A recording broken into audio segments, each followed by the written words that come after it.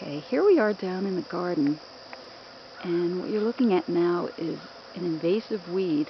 I, I, wasn't able to eradicate it. It's been here for several years now, and I discovered last year that with the hum of the bees, uh, it was a weed worth keeping. So can you see all the bees there? They're pulling in pollen like crazy, and I suspect they're also bringing in a good load of nectar.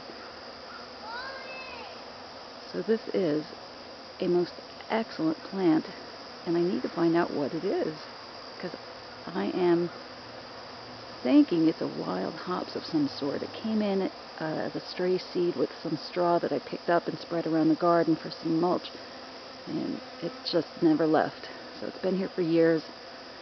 Uh, I'm trying to capture the bees. It's hard to capture it because of the zoom feature on this camera, but listen to the hum.